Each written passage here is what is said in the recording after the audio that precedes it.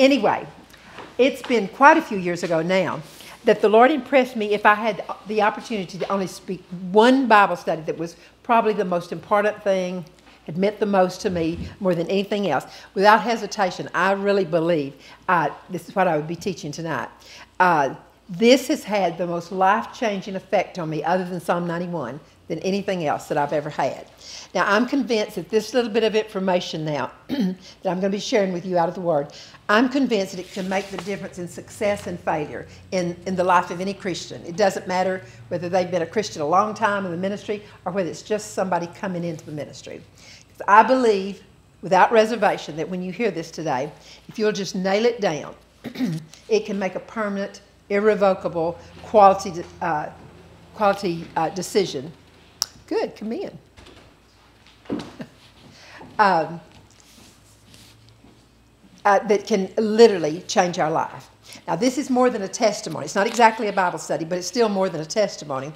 It has become something that when God revealed it to us, it literally changed my life and it changed our family. We just we took it and we ran with it.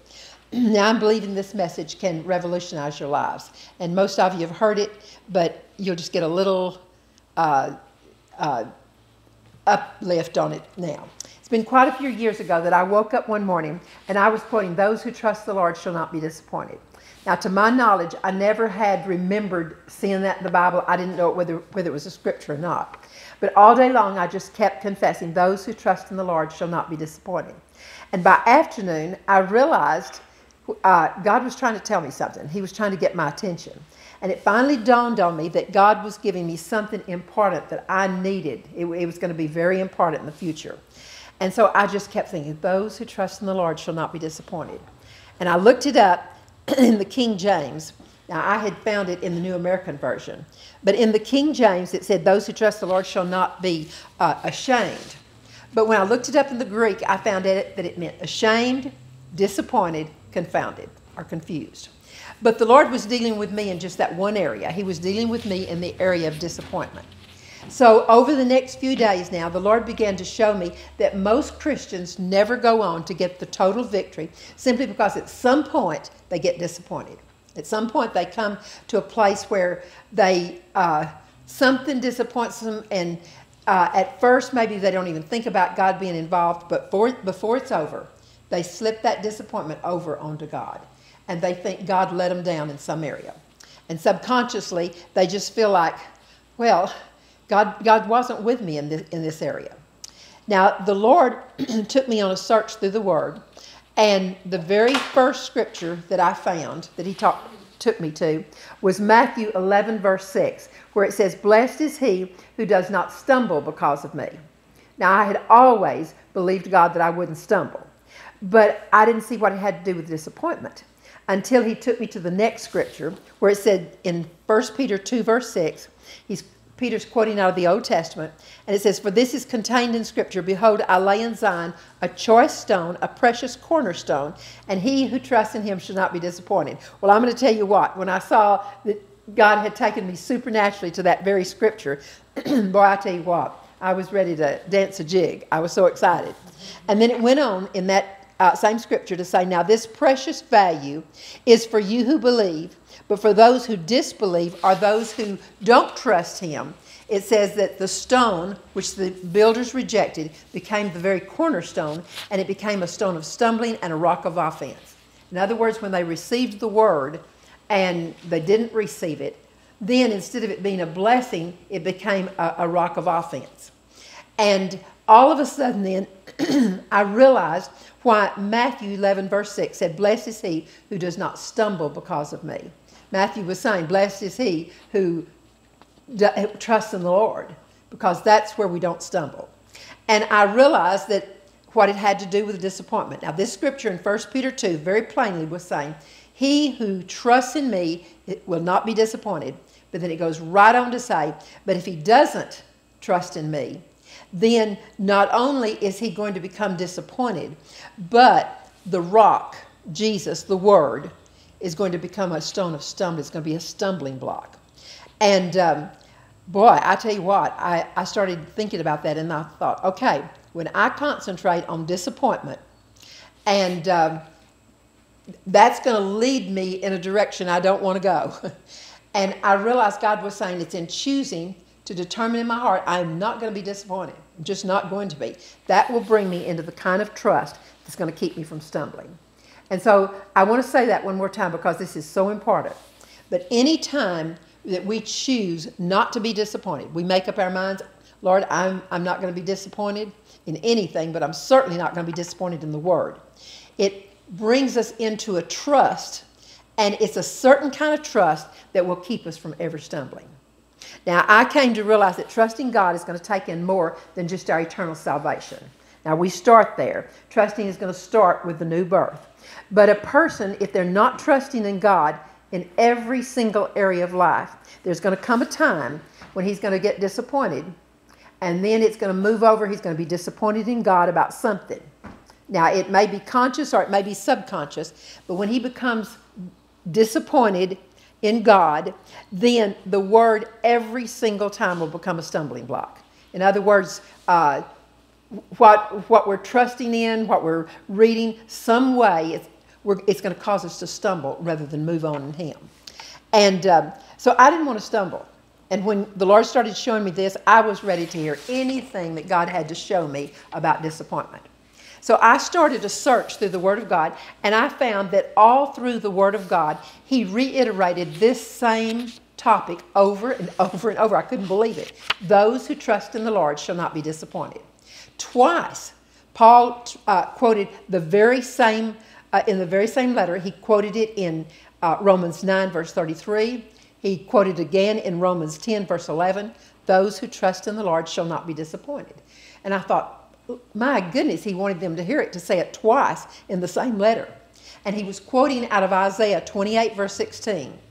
And that in the Hebrew uh, was saying, Those who trust in the Lord shall not be disappointed. But also, some of your translations will say, Those who trust in the Lord will not be disturbed or will not be confounded, because it means those three things disturbed, confounded, disappointed. But disappointment now was in the New Testament and in the Old Testament. So I realized God was really trying to get my attention. Now, in Psalm 22, verse 5, it says, In thee they trusted, and they were not disappointed. I found this same truth reiterated over and over and over in the Old Testament and in the New Testament. and many of those times, it wasn't just uh, giving you the impression, many times it was a direct quote verbatim those who trust in the Lord shall not be disappointed. And so I realized God's really trying to get this truth across to us for Him to say it that many times. Because when you think about most of the truths that God gives us, He doesn't say them over and over and over. But this one was over and over in the Old and New Testament. And I realized that there, I don't know of any other promises quoted verbatim that many times. So I really started saying, okay, God, I really want to know what you're trying to tell me. I, I, I need to get this inside of me. And I knew in my spirit that it was something that was going to be very important to me, something that I needed. And I remember thinking, but God, I think I do trust you. But there's times maybe when I get a little bit disappointed, but Lord, that doesn't mean I'm not trusting you. Have you ever argued with God? and so I kept telling him, Lord, I don't think that means that I'm not trusting you. And uh, the Lord began to show me that many times we don't realize when, when we get into that disappointment, it is pulling us away from God. And uh, so all of a sudden, I quit my argument, and the Lord began to show me that trust and disappointment are exact opposites. They're exact opposites, just like fear and faith are opposites. They can't work together. Well, we're going to find out that uh, disappointment and trust absolutely can't work at the same time. Now, he showed me that every single time that I got into disappointment, I wasn't trusting him.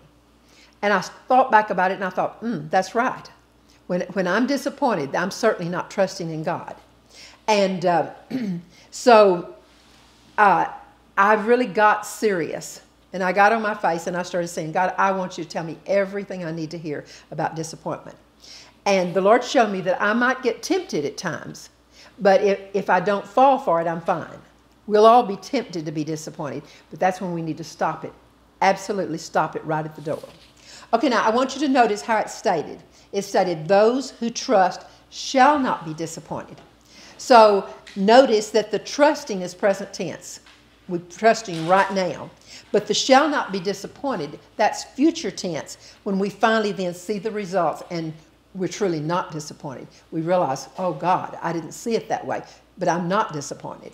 So, this is a promise with a condition that if we trust and we continue to trust, we don't lay it down, present tense, the time will come every single time that we will literally not be disappointed in the outcome. Now, it doesn't say that we won't have opportunities. We're going to have a lot of opportunities to be disappointed, sometimes several opportunities a day. But I promise you, when we get there, if we'll stop and realize, okay, this is an opportunity to be disappointed, so I know this is coming from the enemy. And I have to realize that the ball's in my court now, and I have a decision to make. I can either fall for the flesh, get into that disappointment, or I can put my foot down and say, God, I'm trusting you. Don't know how you're going to work this out, but I'm not going to be disappointed. Now, at that point, you're going to have to decide. It, it, it, you may just have a split second to do it, but you'll have to decide am I going to fall for this opportunity or am I going to put my foot down? Am I going to determine in my heart, Lord, I am trusting you. I don't care what it looks like. I don't care if it looks like you, you let me down. I am not going to allow disappointment to come in. And uh, it makes it a lot easier when we realize that God has already warned us ahead of time that these opportunities are going to come and we're going to have a choice to make and he's already told us which way to go. I've noticed that in the Old Testament. He would tell the children of Israel what was going to come up, and then he didn't just tell them, You're going to have a choice to make. Every time, then he told them what choice to make. He didn't just leave them at their own uh, decision.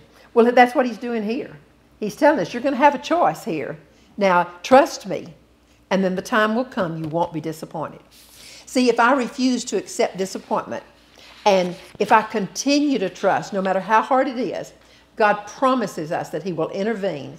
And when He intervenes, the time comes that we'll see Him work everything together for good, and we won't be disappointed in the outcome.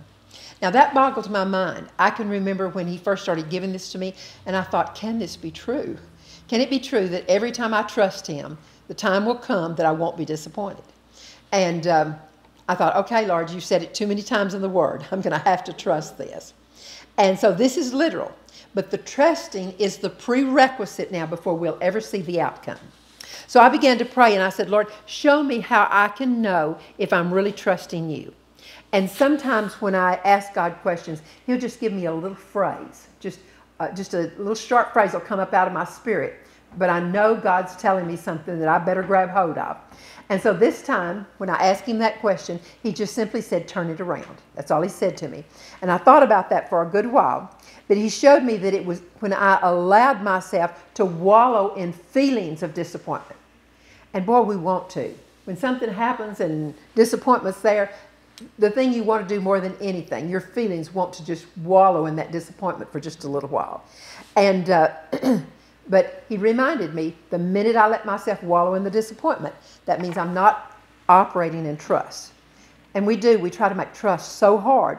But God said trust is just so easy. We don't have to muster up faith, you know, we don't have to feel that faith. And so many times that's what we're doing. We're trying to struggle and strive to get our, our faith worked up. But he reminded me that faith is just simply a decision to believe God. That's all it takes. Lord, I just choose to believe you and we don't have to feel anything. I was so used to depending on my feelings. And when you look in the Word of God, it does, there's no place in the Word that tells you you have to feel anything. Now, trust is a quality decision where we say, Lord, I don't care what this situation looks like.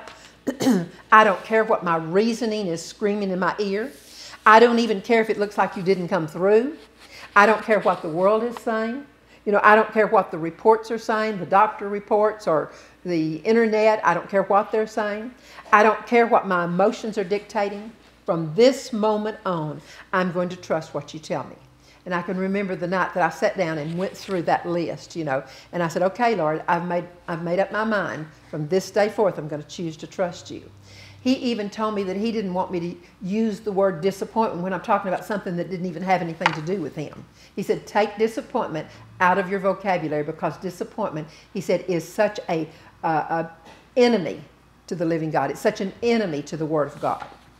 And so, this, what he was telling me to do, was just a quality decision where I just came to the point where I said, Lord, I've made up my mind from this day forth that the Word's going to be my final authority. And we all have to come to that place and just uh, put a stake in the ground. You know, from this day forth, the Word's going to be my final authority. I'm going to choose to be obedient, Lord, to do anything you tell me to do. But as far as I'm concerned, Lord, the case is closed, and from now on, then, I'm going to choose to trust you, and the rest is up to you. And I remember the day that I did that, it was just like a weight lifted off of me. And I'm not saying I haven't been tempted, but I'm saying I've done pretty good about, boy, when, when I realized disappointment is staring me in the face, it's been a lot easier to say, uh uh-uh, uh Lord, I'm not going there, you know. So it's a quality decision, as simple as it sounds, and we don't have to feel anything, it's just an act of our will. It's not an act of our emotions, it's just a decision. It's a choice that we make. Now, the Lord gave me a simple little statement that I was supposed to say out loud every time I was faced with the opportunity to be disappointed. And He said that I was just simply to say, Lord, in this particular situation, and then I was supposed to name it, whatever it was I was facing, I choose to trust you. I'm going to tell you something. I don't think I would be exaggerating to tell you that I've probably said that little statement 10,000 times. Lord, in this particular situation, and I'd name it, I choose to trust you because we face so many, so many things every day. The enemy sees to it that we face opportunity after opportunity. Now, when I say out loud, Lord, I'm trusting you in this situation and name it, I can literally feel faith start to, to bubble up. I can, I can feel that trust. It's just like something kind of lifts up on the inside. Now, It's not, you're not going to be able to help when you have thoughts come and they'll come knocking at your door. You're going to have a lot of thoughts come in and say, uh, oh, what about this and what about that?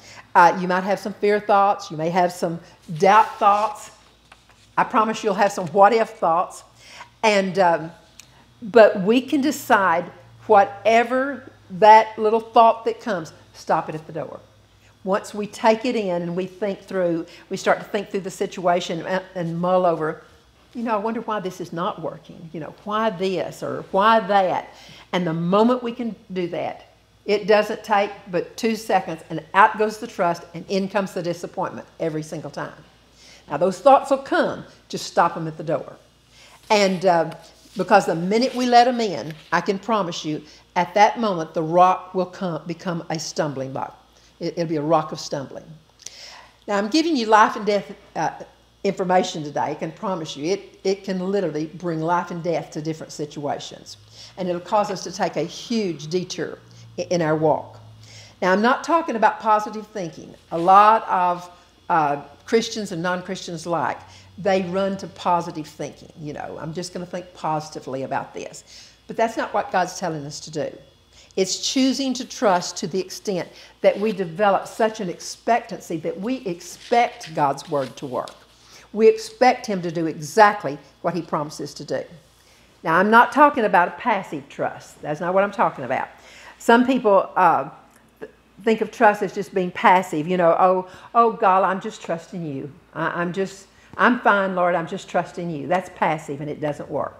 That's not really faith. So uh, I'm talking about a trust where we say, Lord, I'm trusting you, and I know that the time's going to come that I'm not going to be disappointed because your word tells me that over and over and over through the Old and New Testament. And so if I'm not going to be disappointed in the future at some point, then I'm going to lay the disappointment down now. I, I don't have to even entertain it now. Now, we're not talking about mind over matter, where we think, oh, I'm, I'm just going to refuse to think about it and maybe it'll go away. We're not talking about that. We're not talking about, oh, okay, if I just kind of endure, the time's going to come that I'll have forgotten how, how strong this was. Uh, I'm talking about a supernatural intervention. This particular uh, verse, I think all of God's promises are supernatural, but this one is really supernatural. Something supernatural takes place when we put it to work. Now, God is saying, Those who trust in the Lord shall not be disappointed, literally. Well, over the next year, I woke up practically every morning with that coming out of my mouth. I mean, I wasn't even trying to remember it. Lord, those who trust the Lord shall not be disappointed. So, Lord, today I'm trusting you. And it became such a household phrase that every time something came up within, with, that's when the kids were living at home, and anything that came up, well, one of us in the family would say, uh-uh, we're, we're trusting God. We're not going to be disappointed. So we, we were batting it back and forth, and it really became Rhema in our household. I hope the kids are still remembering it. It was, it was fun at the time we were doing it. now I'm going to share some of the examples because God immediately started intervening and gave me opportunity after opportunity. And boy, He will. The minute we start saying, Lord, I'm going to trust you, not going to allow disappointment in, you'll immediately have that challenge. It's your opportunity to do it right, and every time we do it right, we grow. Now, these examples uh, kind of will help it come alive. But we felt like the Lord was telling us to build a house out in the country and he told us that we were supposed to pay as we go, not to go in debt for it, and that we were to look to him to supply everything we needed. Well, that seemed pretty supernatural, but Jack really felt like that's what God had told him. Now, this house became such a training ground. Couldn't believe what a training ground it became that we all said when it was over with, the house was just a fringe benefit. What we learned in the training ground was what, what we needed. And um, we're going to find that anything that we go through, if we'll do it right, it can become a, a, training ground. It's, a, it's an area where we can grow spiritually. And it can be something tiny or it can be something big. But if we, every time we do it right, you know, we're, we're building ground. Now, only good gifts come from God. But He will take even those things that are meant for evil, even those things that uh, you know, that, that were sent to do us harm, he'll take those if we'll give them to him, and he'll turn them around and use them for good. And it's just our choice again if we're willing to let him do that. Now, God gave Jack the plans for the house. We never had an architect. And uh, of course, the house is really large, it's about 3,000 square feet downstairs. And it took three and a half years to build it. And uh, it would not be an exaggeration to say that, that, literally we had miracles happen every single day. And uh, uh, when the foundation was laid and the plumbing had been uh, completed, uh, most of you, I doubt even y'all are old enough to know about the old Swift turkey plant. Did y'all know about that? Well, any, anyway, we had a Swift turkey plant that was uh, probably went into business about the turn of the century. So, I mean, it was just, I mean, you didn't think of Brownwood without thinking about that Swift turkey plant. And uh, so they were tearing it down and they were going to auction off all the lumber. Well, Jack was at work and he couldn't go to the auction. So he said, you know, that would be so nice to have that lumber. And so Dad said, okay, I'll go down. And when Jack got off work that afternoon, of course, we jumped in the car and took off down there and Daddy was the only one left on the lot. And the lot was covered with huge mounds of, of lumber. And uh, I, I mean, two, two or three men high. And we walked up, and there were mounds all over the property. And he just waved his hand like that, and he said, I bought it all. you know. And so anyway, we got excited because we knew we were going to have plenty of lumber to build that house, you know. And but then he said the lot has to be cleared off in three days. He said they have a bulldozer, and we saw the bulldozer. It was sitting there, and uh, he said they're going to bulldoze it because someone had already bought the property. And um, uh, of course, all all the boards still had nails in them. That's why was, the boards were just laying in every direction because they had uh, nails. I counted the nails in one of the really long boards 120 nails in one board. And uh, they were all different size nails in it. And um, also, those boards were too long to go in the back end of our pickup. You couldn't even think about getting them in there. And so Jack and I, boy, immediately started our prayer again. Father, in this particular situation, we have all this wonderful lumber that you supplied. But there's no way to get it off the lot in three days. There just wasn't. Uh, nevertheless, Lord, we're choosing to trust you and we're not going to be disappointed. We'll talk about an imp- impossible looking situation. Uh, the sight was mind boggling. Uh, but when Jack finished praying, God just impressed him and he just, God spoke to him in his spirit, told him to go to Santa Anna, because you all know that's just not but about 20 miles away. And uh, and he spoke to him and he told him, You're going to find a Harvest Gold 16 foot long cattle trailer with a bulldog hitch. I thought it was interesting that he even told about the hitch, and it will cost under a $1,000. Well, my daddy just almost had a fit when, when we told him we were going to look for a, a trailer. He said, We've got three days, and you're going to take off on a trip trying to find, find a trailer. But Jack knew we couldn't do it. And we couldn't even get those boards in the back end of the pickup. Um, I can't say that I had much faith for that, uh, that miracle, but I was really telling God, Lord, I believe what you told Jack. I'm trusting you there. Well, we drove over there and we found the, the car lot, and um, we, found, we could see the Harvest Gold uh, trailer, and, and we only Harvest, Harvest Gold trailer on the lot. And um, no one was around, and so we had to make a, a, a, number of phone calls before we finally finally found the owner. And he came over there. He sold it to us for nine hundred and seventy-five dollars, under the under the thousand dollar mark. And so Jack told him. He said, "This trailer is is a really nice trailer." He said, "I would have thought that it would have cost more than that. And he said, Oh my goodness. He said, I'm closing out this particular brand because he said, I'm going to carry a much cheaper line of trailers. But he said, This is the last one I had, and so I'm just getting rid of it for $975. And we hadn't even told him that we had to get it under $1,000. Okay, now with that miracle under our belt, then, uh, and, and it, it was just like that Harvest Gold, it was 16 foot long, and it had the Bulldog hitch. And we spent every moment of daylight for the next three days. Actually, we went way into the dark. And uh, hauling lumber, trip after trip after trip in this new um, trailer. And we finished literally, it, it was like a couple of hours before uh, they said, you know, time's up. Now, no one could believe the superior quality of this old lumber. You know, new lumber would have warped so badly, you know, laying the way it was laying, piled in every direction. And we had to leave it for three months because it took three months for me to get all the nails out of those boards. And, uh, uh, but the reason it didn't uh, warp or do anything is because it had been cured for over 100 years. Oh, wow. it had been, you know, uh, and, and I mean, Jack, and the, you know, where you see a two by four today, the two by four is not two by four. Right. It's less than two inches and less than four inches. These were full two inches and full four inches. When they said a two by four, that's what we were getting. There was enough lumber to frame out the entire house. Uh, then, not only that, but God just knew what we were going to need. There was enough tongue and groove oak lumber to deck the second floor. So it made a real solid second floor up there. And uh, that was all two by four. So it's, that made it really nice. Well, by the time we finished, we had all the lumber we possibly needed. And plus, we had enough that we gave enough to two people to build um, an extra room. They wanted to build an extra room, and somebody wanted to build a garage. And so three different people had enough lumber to build what they needed.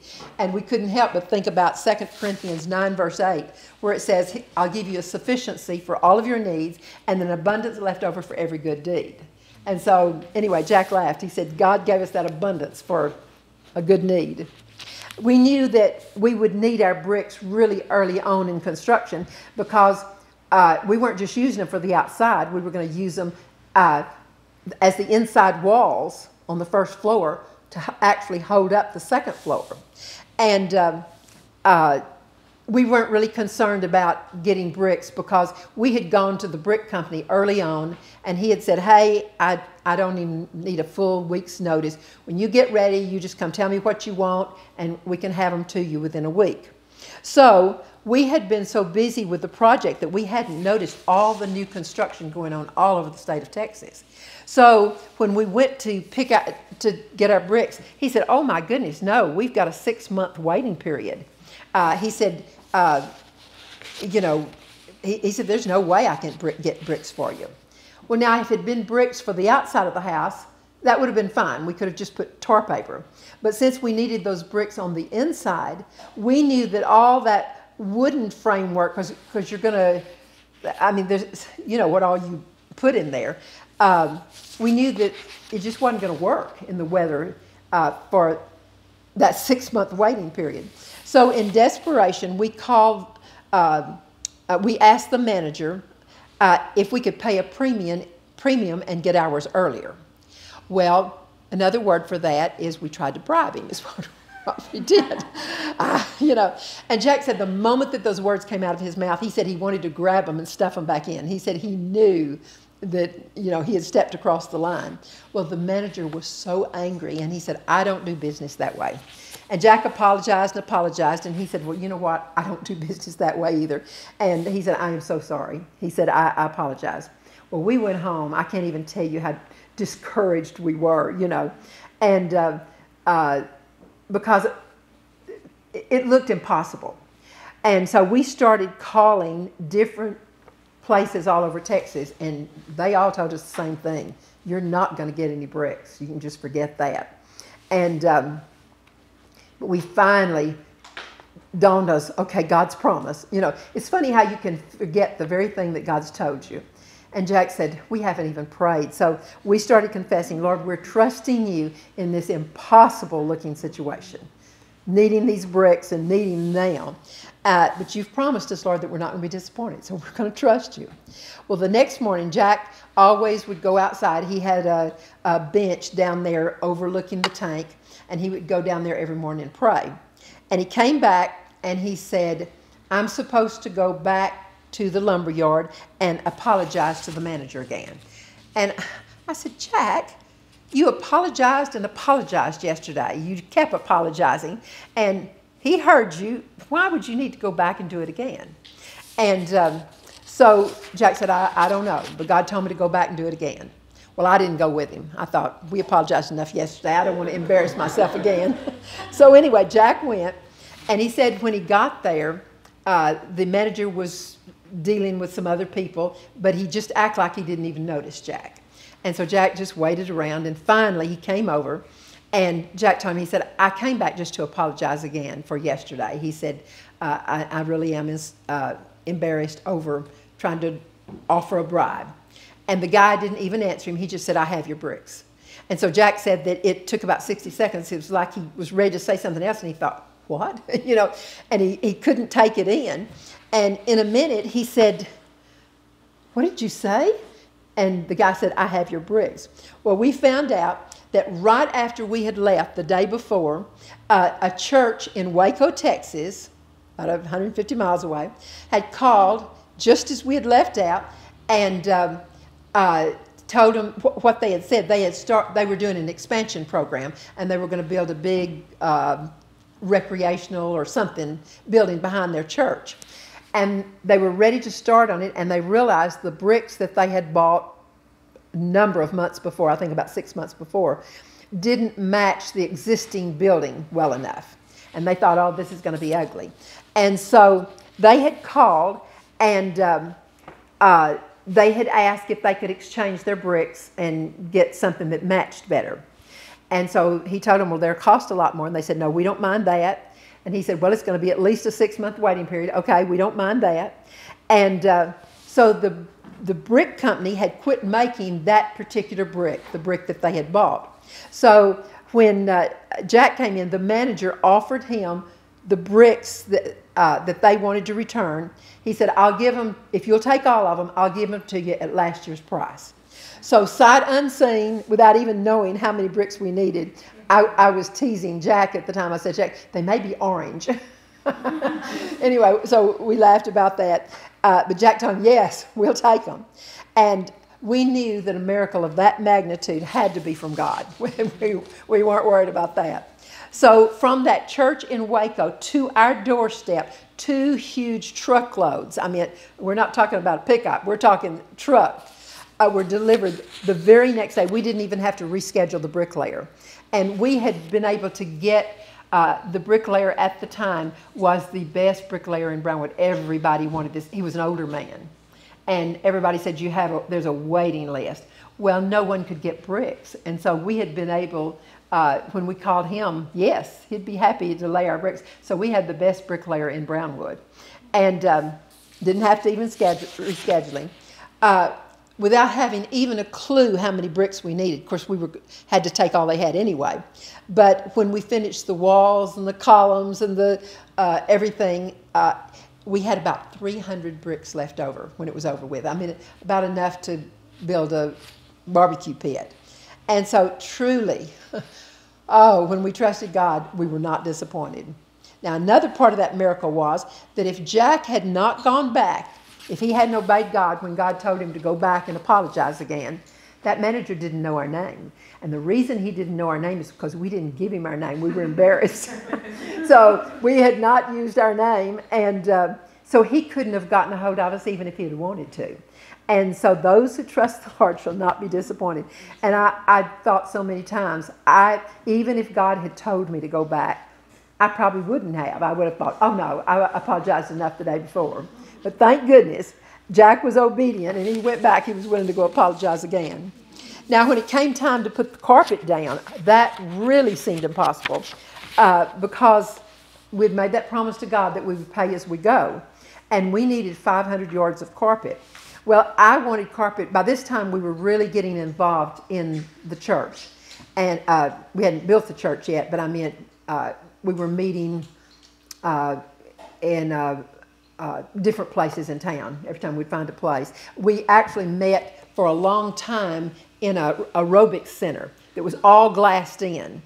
And so every Sunday, uh, of course, we were spirit filled, and most of the churches in town were um, denominational. Uh, yeah, uh, is it called just denominational churches? Yeah. There, okay. So anyway, we would watch people who wanted to come to our church and try it out and they would come and they'd look in both directions and they'd run in, run in. But it was it was all mirrors. All the walls were mirrors, and so that was an interesting experience. But anyway, we we were there until we started building our building. But uh, we needed 500 yards of carpet. We wanted carpet that was going to wear well, and um, uh, because we knew by this time we were going to be using uh, our house for a lot of church events. And then just about the time uh, I had gone to look early. I, I, started looking everywhere in all the carpet places, and I was about ready to give up. And uh, I thought, there's no way we're going to be able to, to pay for this that amount, this amount of carpet, you know, and and and not uh, pay it out. Well, this little carpet place came into business, and they decided that they would do us a favor, and they said that uh, we could order through them discontinued carpet from a carpet mill in Georgia, and we were able to get the exact carpet that we loved. And it was the exact color, it was just exactly what I wanted. It was one fifth of the price. I had to keep that ticket to, to prove it to myself. One fifth of the regular price. And um, now they assured us that this was not seconds. He said, This is top quality, it's just discontinued. Well, we got the carpet about six months before it was time to lay it. And so what we did is uh, it was rolled, big rolls, covered in white canvas.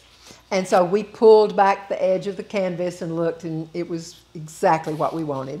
And so we just stored those big four rolls over in the corner of the den. And um, uh, so anyway, when it when it was time uh, to to have the carpet laid, Jack felt like he was supposed to hire this father son team, and they were higher than the other team, and we didn't know them personally. So Jack said he thought it was strange, but he said, I know God's telling me to get them. And um, so the day they came, I, we were working outside, and I had already made up my mind. I'm not going in until it's completely finished. Of course, I didn't realize they weren't going to be able to finish it in one day. But anyway, I was going to wait. And all of a sudden, this guy comes outside and he said, um, I think you need to come inside. We've got a little problem. You've got purple spots on your carpet. And so I just laughed because I thought he was kidding with me. And he said, No, I'm serious. Well, we went inside. He had laid out one roll of carpet in the big den area, and it was all rolled out. And ever so often, there was a purple spot. And I just, you know, I, I looked and I, I just, you know, for a minute, you see something like that and you just think you can't believe it. You know, you think, surely something. And um, I could feel those tears begin to well up in my eyes, you know. And so he very quickly assured me, he said, Don't have to worry. Uh, this, uh, they'll take the carpet back. It's damaged. You don't have to worry about it. You'll get your money back. Well, what he didn't know is that during that six months, that little carpet company had gone out of business. They had moved. They didn't leave any kind of a forwarding address because I'd already checked downtown and was shocked to find out they were gone, you know. And um, we knew it was a carpet mill in Georgia. We had no idea what the name. So we looked on that white canvas thinking surely it's going to have a name on it, which it didn't. You know, so we had our carpet, they had their money, and we had not thought about there being a problem. But there was a problem, you know. And so uh, I could tell Jack was as upset as I was. And um, so Jack told the father son team, he said, Go home, we're going to have to pray and come back tomorrow. And they were Christians. And so um, we started quoting our scripture through tears, you know. We started saying, Oh God, you know, we are trusting you with, with these purple spots in our, our carpet. We can't take the carpet back. We're trusting you. We're not going to be disappointed. We're not going to use that word. Well, the next day they came back, and Jack told him, he said, I've been praying. He said, I haven't gotten anything. I'm just, I'm really believing God's going to show you something to do. And uh, we knew why we got the Christian team because I guarantee you, some of the other guys, they were just, a lot of them were young kids and they'd have just left, you know, they wouldn't have stayed around to help us. And, um, but this father son team, they went over in the corner and they talked for uh, about an hour. And then they got up and they started measuring through the house. Now, of course, y'all have seen it. We've got hallways, and some of the rooms are wider at one end and they narrow down. And so uh, they got up and they measured everything. And then they started laying the measurements down on the carpet, just like you'd put patterns on, on a piece of material. And of course, it all had to go in the same direction. And they kept moving that, those measurements around until finally they had moved them and got them where all of the purple spots were ending in the part that was going to be cut off and thrown away. And uh, of course, that had to be done. We didn't know how many of the rows were going to have purple spots, but we just thought, oh, boy, it works this time, God, you know, help us. And um, so, anyway, uh, they told us that they were going to have to have one roll that had no purple spots in it for the big den area. So they said, you, you got to have one roll. Well, as they kept opening them, uh, the first three rows had purple spots, all, all, all three of the, those. And so uh, when they were opening that last roll, by this time we had a bunch of friends who had come out because they were right along with us, you know, believing with us. And uh, when that last roll was being opened, I promise you, I don't think any of us breathed. I don't think anybody in the room breathed. And uh, uh, when that last roll was open, it did not have a purple spot in it. How did three rows have purple spots and one not? I mean, you, you knew it was God, you know. And uh, it took all 550 yards. If they had sent the 500 yards that we ordered, it wouldn't have been enough. But the 550 was exactly enough. So God had given us what we needed, and uh, uh we didn't even have to pay for the extra 50 yards. that was just thrown in. Now, there were times when by sight, I tell you what, it, the sight was so strong in the negative that it was almost literally felt like you were pulling your teeth. You know, when you have miracles happening, you would think, oh, everything's fine now. But it seemed like each new opportunity was bigger than the last one, you know. And you'd think, oh, no, not another one. What, what are we facing now, you know? And so each time you had to stand and not yield to the temptation because the temptation was there every time. But with each new opportunity now, God, every time He would. Uh, he would remind us again, you know, Lord, we're trusting you. We're not going to be disappointed. But our mind was screaming, you know, uh, Lord, how on earth are you going to work this one out? This is bigger than all the rest of them put together. You know, that's what you think. And but how God does it, that's really none of our business. Our part is just that we have to trust Him. We have to make sure He's not telling us something that we, we're to do. Uh, because sometimes there's a, a, place of obedience, and then we have to determine. The big thing was determining, Lord, I'm not going to be disappointed. Don't know how you're going to work this out, but we're not going to be disappointed. And God's part is bringing it to pass, and we could never, we never once knew ahead of time how God was going to do it. We just, you couldn't figure it out. But the trusting had to come first every single time. Now, that statement, shall not be disappointed. That is literal, you know. He's not talking about dulling the pain. He's saying, I'm going to intervene, but you're going to have to trust me until until it comes to pass. Now, I kept a diary. I wasn't even keeping a diary back then, but boy, I kept a diary through all this, and I was thankful I did to write a book. But anyway, each time looked a little harder, a little more difficult than the time before. And sometimes you get really weary when you're in the middle of it, you know, and especially when you're doing the work yourself. Now, Jack was holding down a full time job and he was building the house. Uh, Bill was helping him. And, uh, but we saw God come through time after time. And with each, t- each time, I'm embarrassed to say that each time it, you wanted to throw the towel in and quit, you know. Uh, but when those thoughts start bombarding, it's more important than ever to, we have to run to God and not away from Him. And the Lord showed us that most people, when they face something that looks like a disappointment, the biggest thing people do is they pull back from Him, they run back from Him. And one of the big things God taught us, He said, I want you to run as hard as you can run into my arms when, when you, are tempted to be disappointed. And uh, He said, Don't pull back from me because He said, if you pull back, you'll get into disappointment. But if you run toward me, you won't. And, uh, um, and future tense, I can say this, we were never disappointed. Sometimes we had to wait a couple of hours, you know, for something to work out. There were times we had to wait a couple of months, but we had a few things we had to wait a couple of years before we actually saw it uh, work out and come to pass.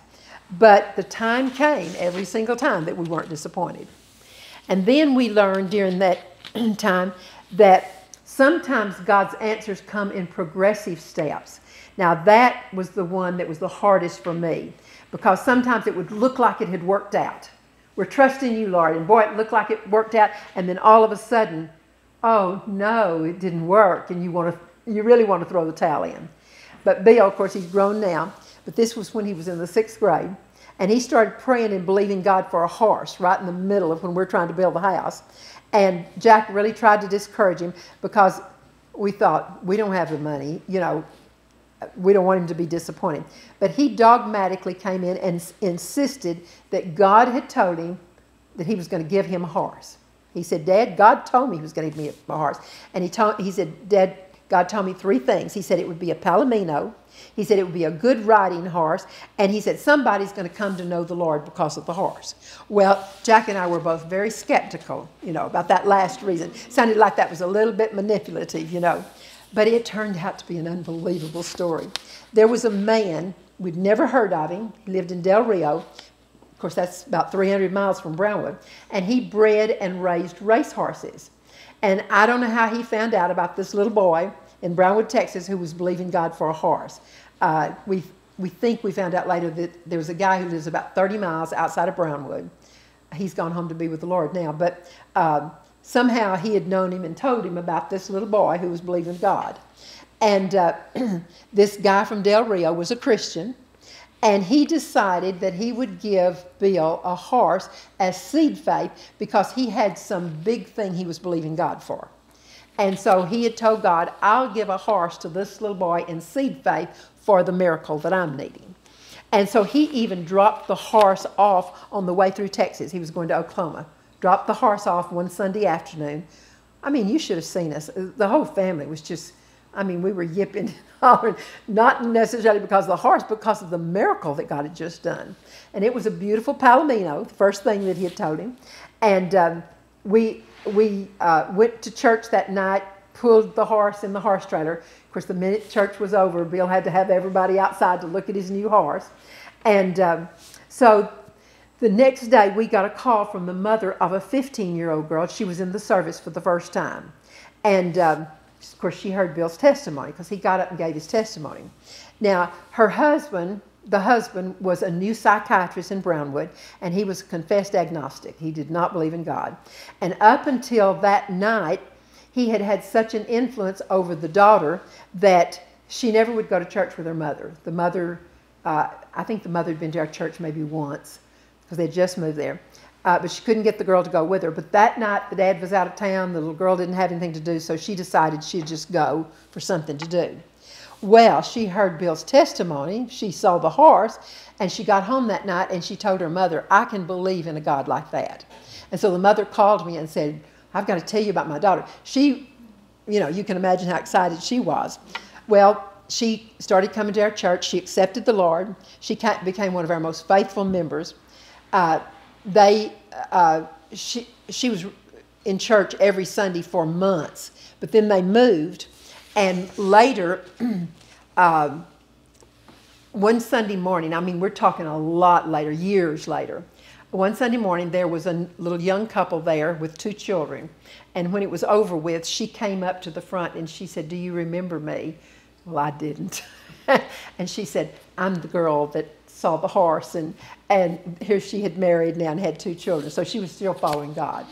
Okay, two of the things that Bill had felt God told him had come to pass. It was a beautiful Palomino, and in spite of our, you know, uh, skepticism, somebody truly had come to know the Lord because of the horse. But this horse did not like to be ridden at all. I mean, I, I tell you what, Jack and I both started, kept praying, Lord, why didn't you? It wouldn't have been any harder for you to have given him a horse that liked to be ridden. We don't understand why, why you gave him a horse that just I mean, he did not want to be ridden. Bill would get on his back and he would run as hard as he could for the low hanging trees and run under them to drag Bill off, you know. Well, we got to the point where we were afraid something, you know, he was going to really get hurt. And um, we just kept praying, saying, God, this doesn't make any sense. And we even tried to talk Bill into selling the horse. We said, Bill, it's just not worth it. Well, um, Bill uh, was steadfast and one day he came in and he said, I think God has told me that he wants me to have that mare bred. And I remember thinking, oh no, you know, more problems. But it was obvious from the moment that that colt was born that that was the horse that God had for Bill. And, uh, uh, but he had done it in progressive steps, you know. But that horse loved Bill, and Bill loved that horse. When it was time to break him for riding, we got an old rancher Jack knew this old rancher, and he asked him if he'd come over and help Bill break the horse. And so, anyway, uh, he was explaining to Bill what to do, you know, because uh, he said, now he'll throw you for a couple of times, but it's okay. Anyway, Bill climbed into the saddle, ready, you know, really, and, and the horse just walked off and rode all over, the, all over the pasture with Bill on the back. Didn't even buck, didn't even attempt to buck. And uh, uh there were so many times he'd come uh, riding by the house, and boy, the tears would just flow because uh, of thinking, you know, God, you're so good. You know, when you trust, you truly were not disappointed. Um, and uh, God's just faithful. Now, sometimes he, He's not faithful for me because I you know, I, I don't do what I'm supposed to do. But if we'll do our part, God is so faithful. Now, there's an interim period where con- constantly God is telling us that uh, He wants us to keep trusting. He's just don't don't get disappointed. Uh, and truly, with that precious new horse, the time came we were not disappointed.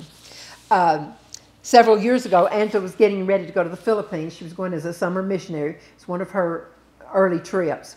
And they had to raise their own money. There was a guy named Tim on the team, and he had already been asked to speak. He was older, and he'd been asked to speak at the Bible College in Manila. And boy, he was really counting on the trip. Well, he had done all the legwork to get his money together, and he had been confessing, God's going to provide my way. But when the first deadline came, he didn't have near as much as he needed for the first deadline. And uh, boy, he got into so much disappointment. Angie kept saying, uh, she said she was real worried about him because she said he got so bitter. And the team kept telling him, hey, this is just the first deadline. You know, don't quit trusting. You're going to have your money. But he wouldn't listen. And he just kept saying, no, God let me down. The deadline has come and gone, and I don't care about that trip anymore. Well, school was over, and the team members all went home to their different homes to get ready for the trip.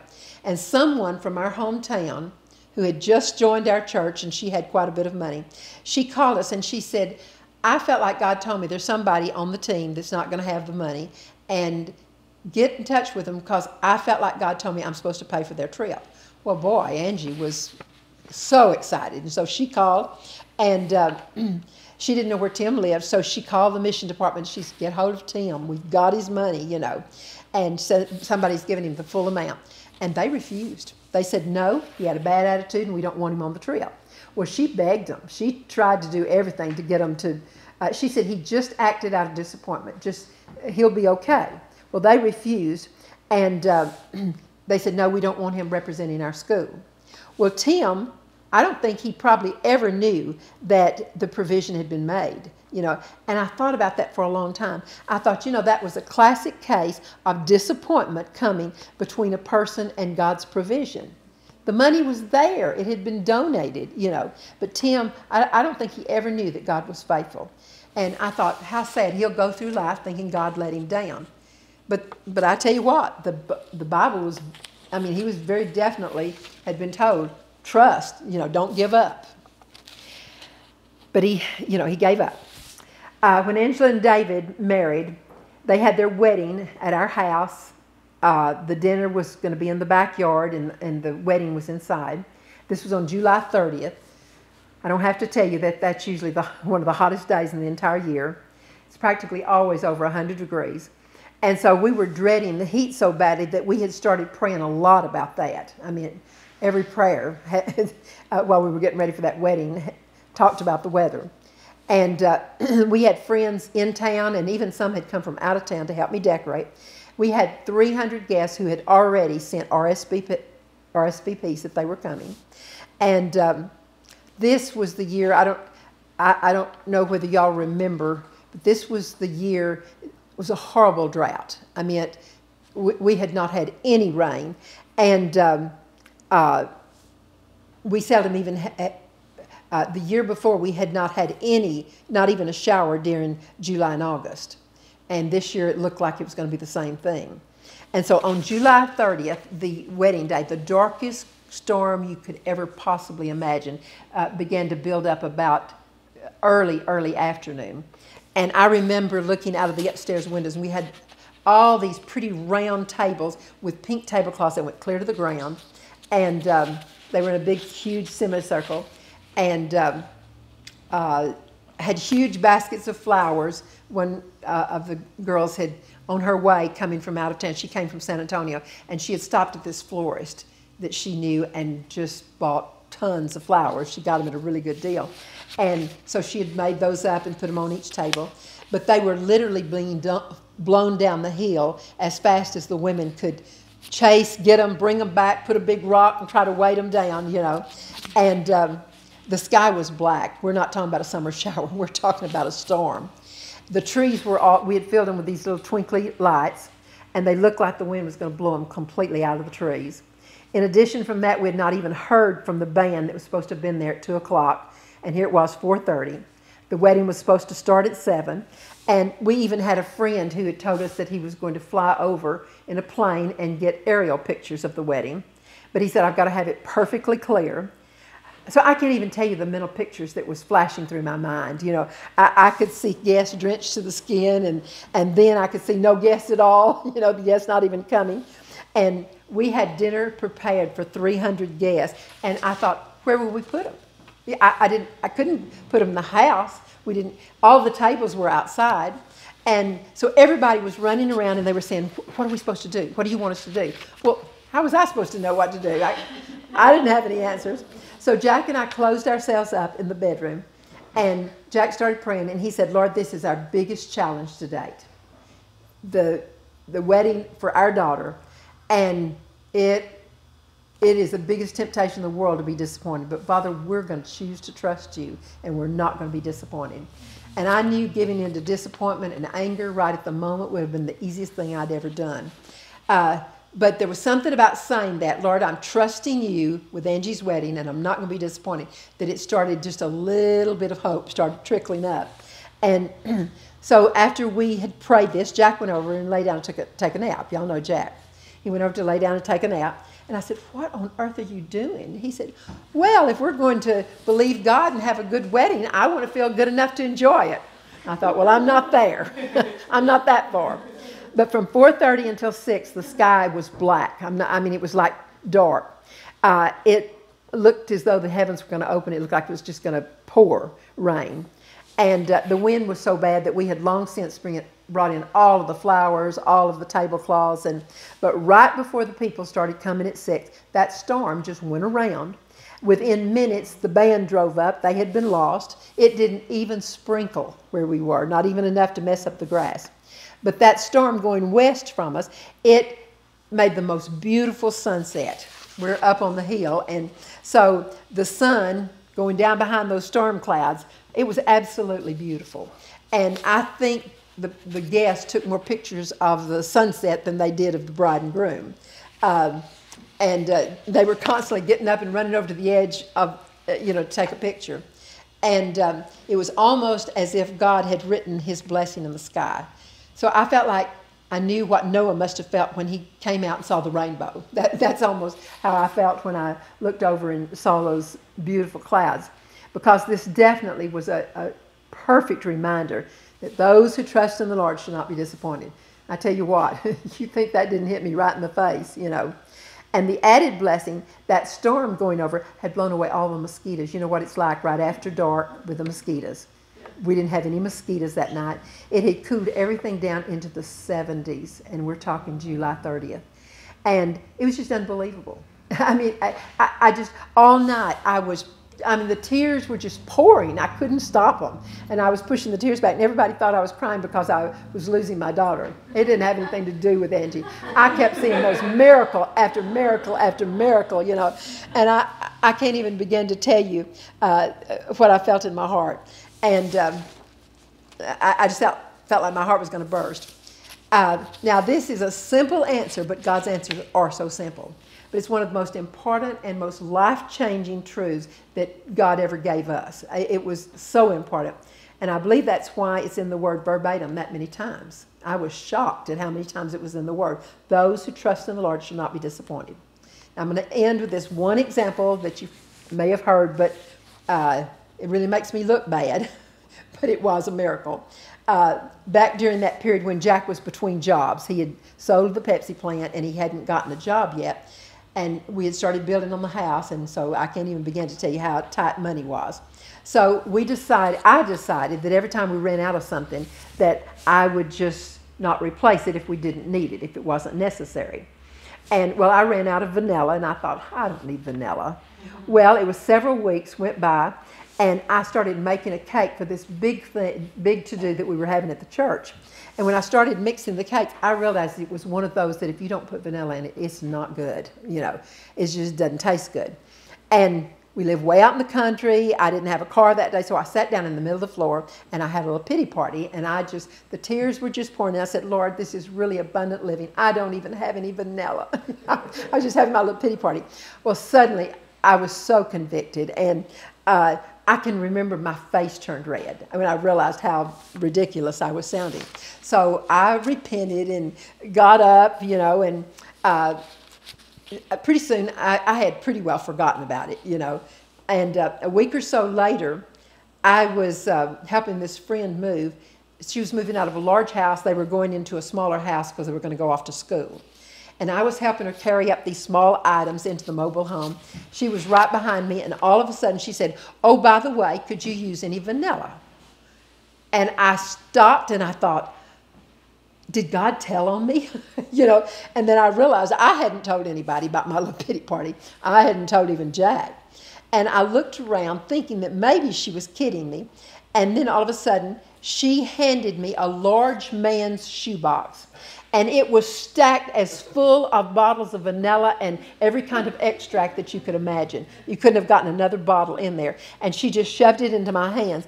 And to this day, I don't know where she came up with all, all those uh, vanilla and all those extracts, but I just stood there looking at it. I was speechless. And it was as though God were saying, Is that enough vanilla for you? you think that's enough vanilla? You know? And I, I, I really felt like I could hear him laughing. Because I definitely believe that God has a sense of humor. I do believe that.